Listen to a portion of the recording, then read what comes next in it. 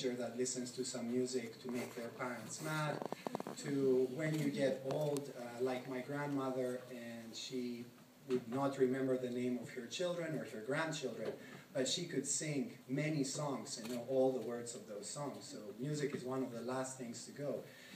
Um, and uh, it, it, has been with, uh, around us for a while.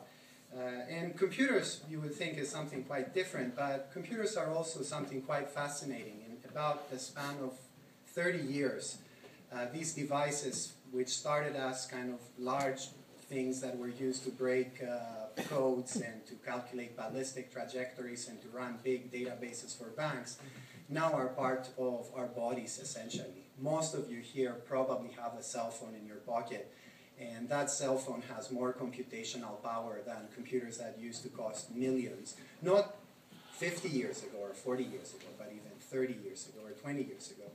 So I've, I've been extremely lucky. I have kind of hit the perfect wave where uh, computers just got powerful enough to process audio signals and are becoming more powerful uh, every day. Uh, and kind of my career just landed at the right moment. If I was a few years earlier, I would have uh, not had the computational power to do the things that I wanted. If I was a few years later, I wouldn't have been early in the field. So I've been very lucky. And uh, I find this uh, very fascinating. I uh, still find music an extremely um, strange activity. Uh, somehow we find these collections of sounds that are created by scrapping pieces of wood and uh, horsehair and metal and weird devices and large groups of people and we go to a concert and it brings tears to our eyes and it changes how we feel and so forth. And it's weird, it's just plain strange.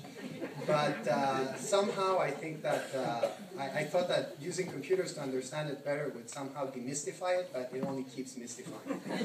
so uh, I thank you very much for this award. I would like to thank very much the University of Victoria who uh, who has made this research possible and has supported interdisciplinary research in many ways.